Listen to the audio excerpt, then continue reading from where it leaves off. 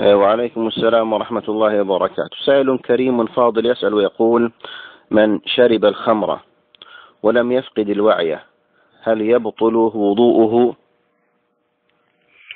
لا بد أن نعلم يا رعاكم الله أن الخمر محرمة قال الله عز وجل. يا أيها الذين آمنوا إنما الخمر والميسر والأنصاب والأزلام رجس من عمل الشيطان رجس من عمل الشيطان فاجتنبوه لعلكم تفلحون. وقال صلى الله عليه وسلم فيما روى الشيخان عن ابن عمر رضي الله عنهما كل مسكر خمر وكل مسكر حرام. ومن شرب الخمر في الدنيا فمات وهو يدمنها لم يتب لم يشربها في الآخرة. وعند أحمد في المسند والترمذي عن عمر بن الخطاب رضي الله عنه قال يا أيها الناس إني سمعت الرسول صلى الله عليه وسلم يقول من كان يؤمن بالله واليوم الآخر فلا يقعدن على مائدة يدار عليها بالخمر. وعن ابن عمر رضي الله عنهما عند مسلم قال عليه الصلاة والسلام من شرب الخمر في الدنيا لم يشربها في الآخرة إلا أن يتوب.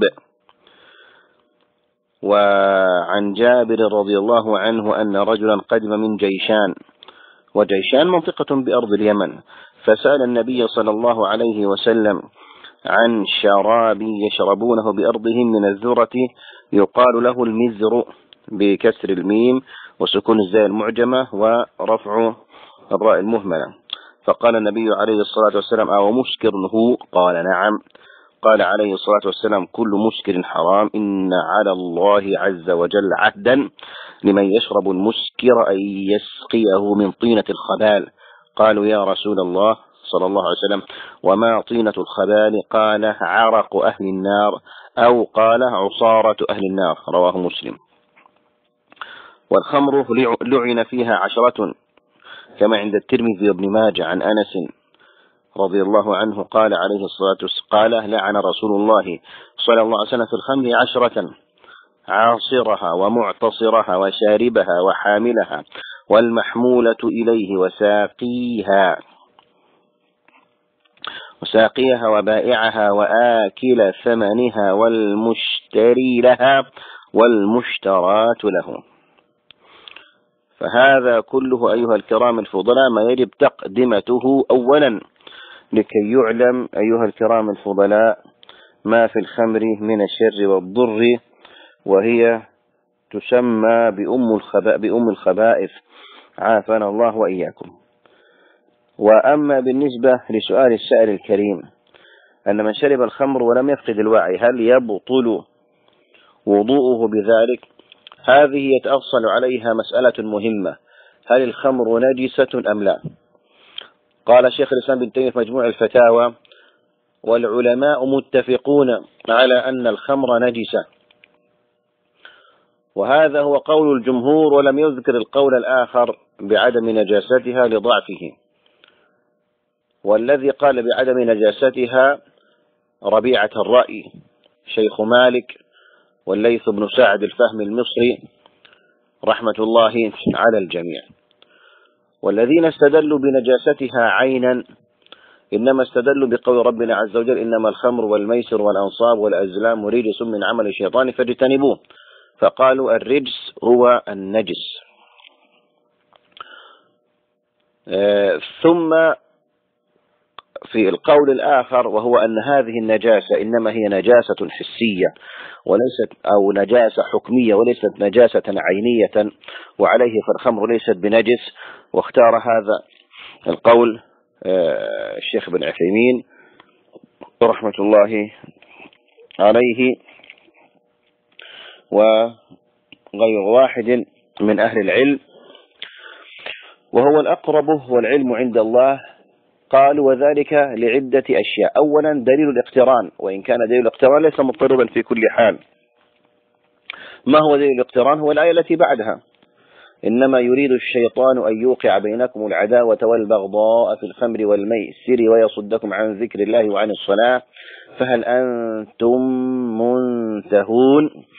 فقالوا بالنسبة للميسر هنا فبالنسبة للميسر هنا نجاسته ليست نجاسة عينية. وقالوا إنما قول ربنا عز وجل أن يوقع بينكم العداوة والبغضاء فقالوا إنما هذا يكون من السكر المترتب عليها من السكر المترتب عليها. ثم قالوا أيضا بدليل الاقتران في قول ربنا تبارك وتعالى يا أيها الذين أمنوا إنما الخمر والميسر والأنصاب والأزلام رجس من عمل الشيطان فاجتنبوه لعلكم تفلحون في هذه الآية. فالله عز وجل جمع بين الميسر والأنصاب والأزلام وكل هذه ليست نجاسة عينية. هذه كلها ليست بنجسة نجاسة إيش؟ عينية بالنسبة للأنصاب والأزلام اللي هي الشهام والرماح وهذه تصنع من أشياء ليست ب ليست بنجسة. الأمر الآخر أيضا أن النبي عليه الصلاة والسلام لما حرمت الخمر أمر بها عليه الصلاة والسلام فجرت بها سكك المدينة. وقالوا وهذا إن كانت نجسة عينا فإنه لا يجوز أن تلقى النجاسة والأذى في شوارع الناس. لقول النبي عليه الصلاة والسلام اتقوا اللاعنين. قال ومن لاعنان قال الذي يتخلى في طريق الناس أو في ظلهم. عليه الصلاة والسلام. فقالوا هنا إنما أراد النبي لمصلحة ولكي ينتشر الخبر. استدرك عليهم الآخرون فقالوا لو كان الأمر كذلك فيكفي تحريمها وشيوع الخبر بذلك فكم من أشياء حرمت بشيوع الخبر بذلك دون أن يفعل بها مثل هذه مثل هذه الأشياء. أيضا آه، لما قالوا بأن النجاسة نجاسة حكمية وحسية وليست نجاسة عينية قالوا فكلمة فاجتنبوه هذا على قول من قال أن نجاسة نجاسة عين. قالوا إنما المقصود هنا باجتنابها أي بالابتعاد عنها بالابتعاد عنها. فلو لامست الخمر ولو لامس الكحول أيها الفضلاء الثوب وصلى الإنسان به فليست صلاته بباطلة. ولو عياذا بالله شرب خمرا ولم يسكر هنا وجه السؤال الذي أراده السائل ولو شرب خمرا ولم يصب بالسكر فإن صلاته صحيحة.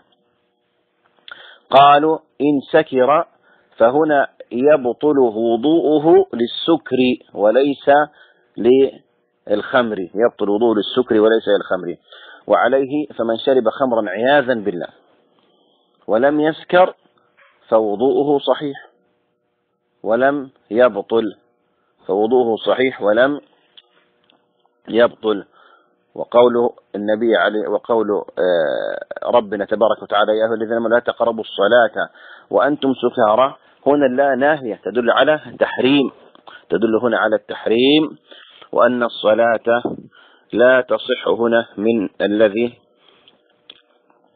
يشرب الخمر من الذي يشرب الخمر ويصلي ومنهم من قال صلاته تصح. إذا الذين قالوا صلاته لا تصح على اعتبار أنها نجسة. على اعتبار أن الخمر بقول الجمهور أنها نجسة. وعليه فكل نجس حرام. وعلى قول الذين قالوا أن النجسة عينية فصلاته هنا صحيحة. ما لم يسكر فإن سكر بطلت بطلت صلاته لبطلان وضوئه بالسكر.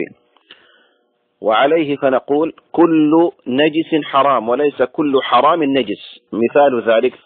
السم حرام.